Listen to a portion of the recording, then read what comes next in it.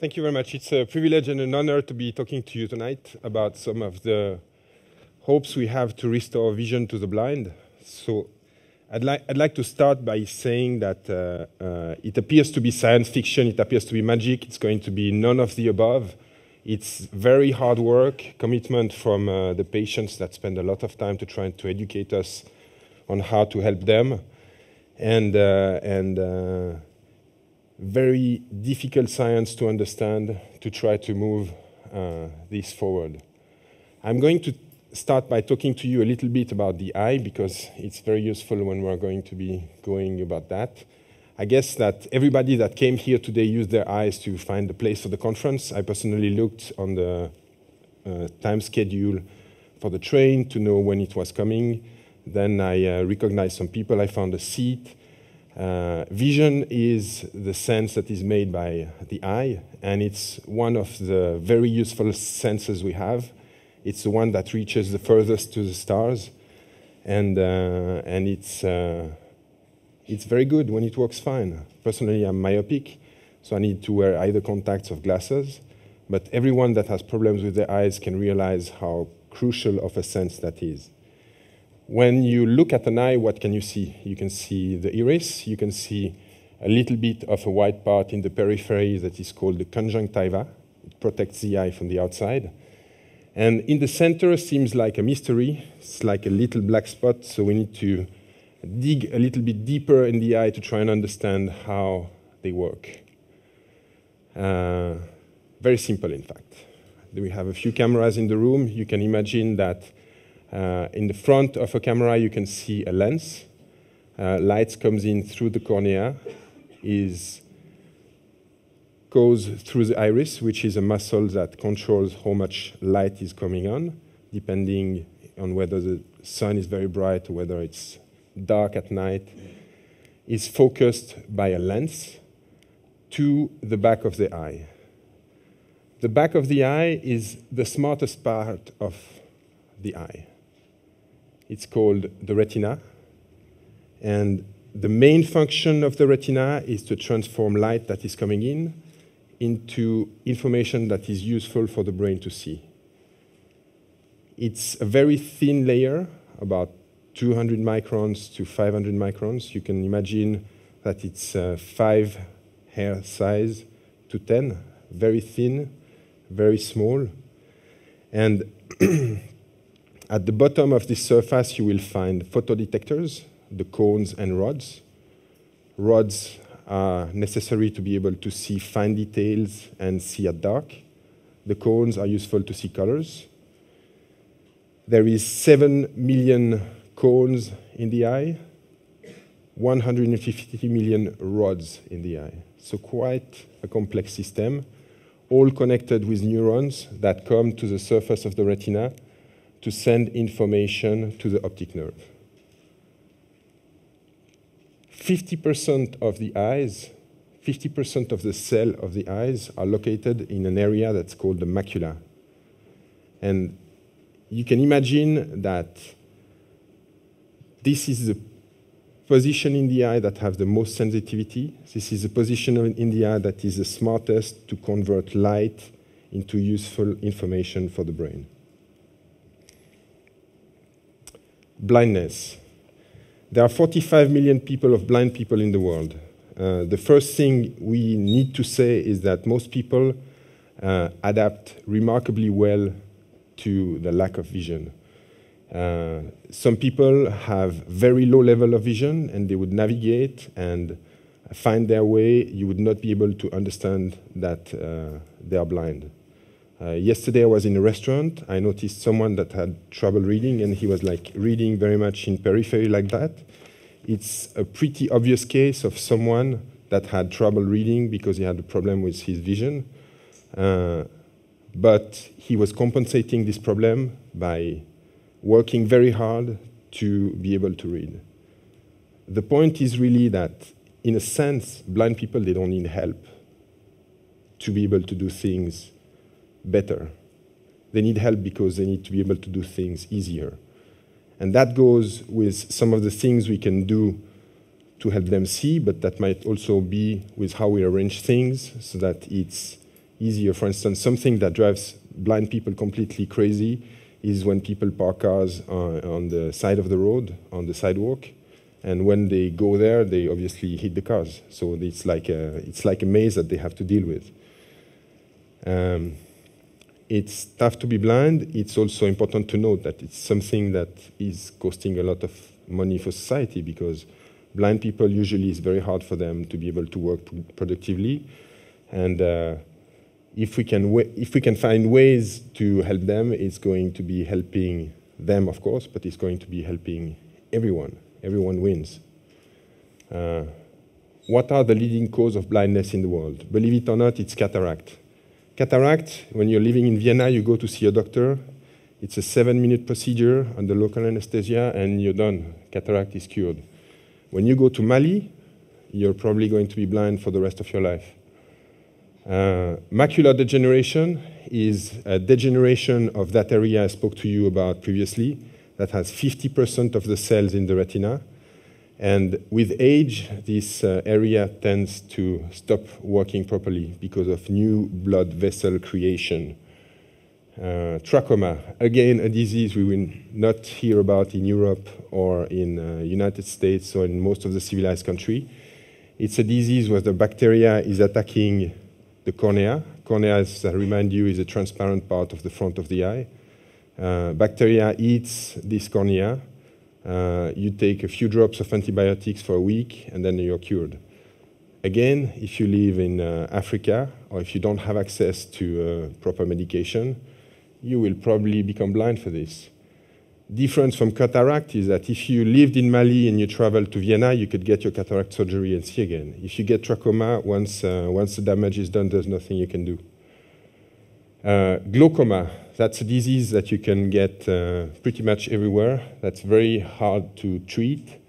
Uh, pressure in the eye is increasing, and because of that, uh, it pushes on the optic nerve that tends to kill the blood supply to the eye and causes blindness because the retina is starving for nourishment.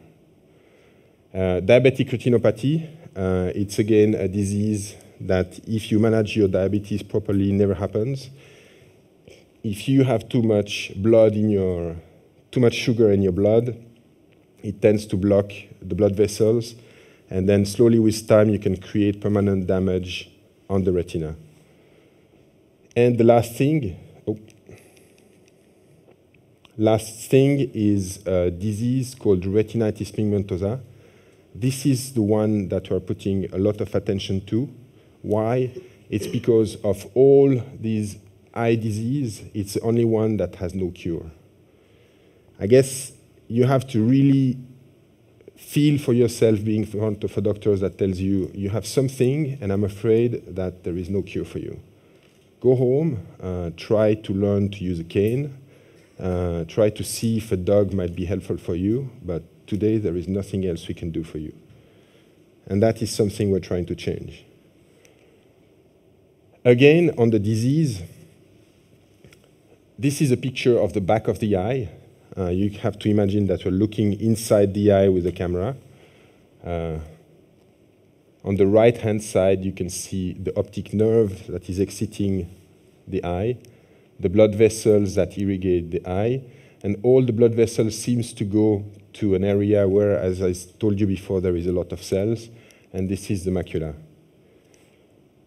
In the case of retinitis pigmentosa, as you can see, uh, you get in the periphery a lot of black spots, hence the name of retinitis pigmentosa. And uh, these black spots are a sign of the cells that degenerated, that stopped to be able to produce light, sensations to the brain. RP, retinitis pigmentosa, is a hereditary condition which tends to go from generation to generation, always in the same family. Uh, one in 4,000 are affected in the world. And uh, this is a picture of how light comes on the retina, a cut through the retina. These cells are the cones and rods. And as you can see, light comes on the cones and rods, is processed by some neurocells in the retina, and then goes to the brain. How does blindness progress with retinitis pigmentosa? generally, people lose their night vision by 20. It's interesting because as I was looking outside at 4 o'clock, it was roughly the time when uh, darkness starts to come in Vienna. And this is probably the time, like if you're 20 and you have RP, it's a time that it's completely dark for you. So you lose your vision if you're 20 at that hour. Uh, peripheral vision, vision that starts to reduce by 30. And by 40, you have legal blindness and complete blindness afterwards. So you can start to see four stages of the disease, and these are the things that uh, we are going to be using uh, to see how we can treat RP. Again, RP has no cure today. So the first thing that you can do to treat RP, which is the best solution ever, of course, is to go and repair the genes. As I mentioned, RP is a hereditary condition, something's wrong with the genes. The genes in the cell make it so that when they perceive light, they intoxicate themselves slowly over time. If you can fix that genetic process in the eye, that's your solution. People are working on it. They've done a clinical trial with six patients in uh, London. Uh, it has some benefit, but gene therapy is far-fetched, is very far away in the future. It's going to be long. It's something that is potentially very dangerous because who knows what happens when you start to tweak genes inside the eye. Maybe it start to tweak genes in the kidneys also, and who knows what else. Uh, second approach that is also very interesting that works for the early stage of the disease is to slow the disease. Give some drugs that protects the retina and prevent it from dying. Third approach is to regenerate the photoreceptors, for instance, by using stem cells from uh, the umbilical cord that you can put on the retina that slowly become cells of the retina that can convert light very interesting approach that came out recently for people with a more advanced stage of disease is to take some bacteria that are sensitive to light and use those bacteria and implant them in living cells in the retina.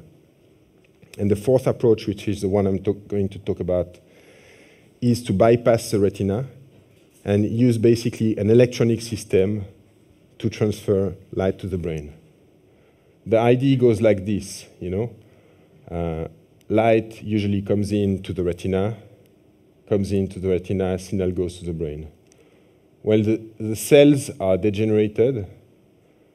The photoreceptors, the cones and rods, are no longer working, but the processing cells are perfectly fine, at least in the beginning of the disease. So why not just zap them with electrical currents to transmit light to the brain. so basically, the concept is as follows you have a patient that wears a camera on his glasses, and then the light comes in from whatever you want to look at to the camera. Then it goes from the camera to a video processor that is the size of a cell phone. It's not displayed on this animation that comes back to the glasses and via a radio antenna talks to the implant that is situated in the eye and that then activates uh, the cells at the surface of the retina, who then in turn trigger a neural activation, which is the message that goes to the brain to perceive light. So once again, camera on the glasses, pick up the signal, send it to the video processor, and then that comes back to uh, an antenna situated on the glasses, and then talks to the implant. This is, this is by the way, uh, a real version of the implant. So you can see that it's uh, very small. This part goes around the eye, and that part goes inside to stimulate the retina. So this is a patient in Los Angeles. Uh, she's been blind for 25 years, and you know she's very striking because she can wander by herself in the park like this. Um,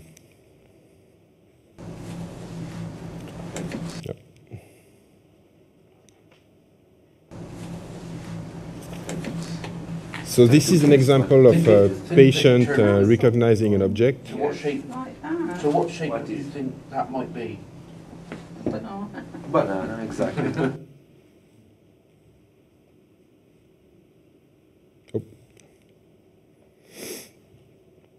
And this is an example of things that people can do in uh, their daily life. On the top, you can see that they locate uh, things like chairs, they can follow lines, recognize objects. Uh, the best, best patients can read, uh, do things like uh, reading sentences and reading the head title in magazine. And this is an example of some of the things that they do uh, in, the, in the lab. Je change, hein, je peux. Ouais. Euh,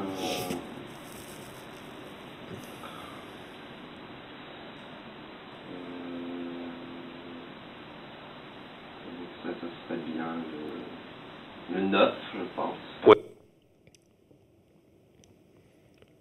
So today there's been 30 people that uh, received our uh, retinal implant. It's clinical research, and it's always very important to underline the fact that those people are the ones that make the possibility for the advance, advancement of research. When you do research with a medical implant like this, there's always some risk involved. Of course, we're experts at managing risk, but they are the one that takes the risk. We're not. They are the pilots, they are in the plane, and we watch it from outside. Uh, 11 centers in the world, um, and 30 patients. Some of the results, objectively, that they get today, 97% uh, of them uh, 29 out of 30 can locate objects. 57, I think that's 22 out of 30, can detect motion very reliably. Uh, 23 can get significant improvement in acuity. And 10 person, person can reliably uh, read uh, titles of magazines. What now? I think that's what's very important is that this offers a first treatment for the most severe patients. It's just going to be a beginning because this will evolve over time. It's going to be giving hope to all people with retinitis pigmentosa and maybe later some other eye disease. Uh, it's going to be a revolution. I think that's very important to say that uh, in 1920, everybody could get polio. 1950, there was vaccine for polio. Uh, today, polio is history. I think we'll see someday where RP is going to be as benign as making sure that everybody gets vaccinated. Thank you.